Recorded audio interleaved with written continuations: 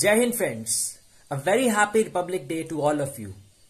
The topic that I have chosen for the lecturette is India-Myanmar relations. So, India and Myanmar have a very deeply rooted shared cultural, economic, ethnic, historical and religious ties. It was in the Japanese occupied Burma that our Netaji Subhash Chandra Bose gave the slogan, Give me blood and I will give you freedom. The shared 1600 kilometer land boundary between India and Myanmar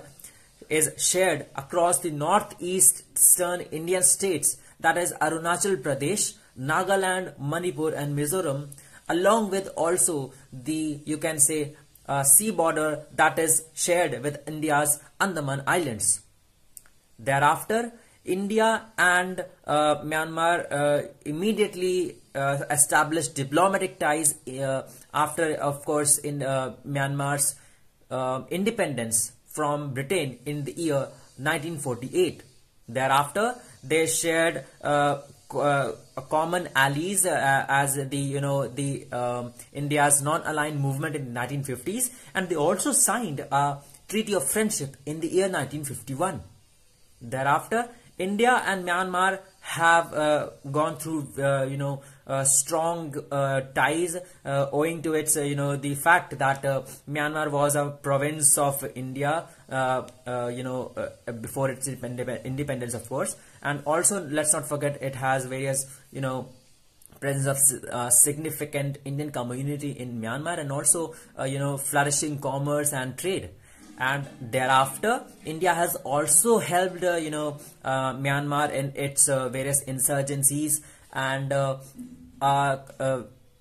in the year 1987 there occurred a you know good effect on the on the Indian Myanmar relations when the then Prime Minister Rajiv Gandhi visited Myanmar in the year 1987 of course right? But after that the you can say the the overthrow of the democratic government by the military rule, um, uh, you know, brought in some strains in the India-Myanmar relations. But uh, uh, nevertheless, in the last three decades, India and Myanmar have, uh, you can say, shared various uh, cooperation cooperatives. Uh, let it be on, you know, acting against various insurgent groups or, you know, advancing in its trade deals and also in you can say infrastructure projects. So we can say uh, recently uh, in February 2021 um, the overthrow of the uh, you can say the democratic government that is the prime minister uh, Aung San Suu Kyi has been detained and the uh, coming of the Tatmadaw that is the armed forces of the Myanmar into the you can say the rule as the rule, rule ruling you can say ruling uh, establishment in Myanmar has brought in a sort of you can say um, strategic uh, you can say um, importance for India wherein Myanmar is a strategically important uh, country for India, keeping in mind the Chinese influence uh, in the southeast uh, southeastern Asia. And so that is why, uh, though India has uh, condemned the violence going on in the Myanmar, but has explicitly not, uh, you can say, spoken against the uh, or for the legitimacy of the elections, right? So uh, that shows the significance of Myanmar for India. Uh, keeping in mind it is the only neighbor with which India shares both uh, you can say territorial and uh, sea border and uh, uh, it is also present at a strategic place where India and China have clashing interests right so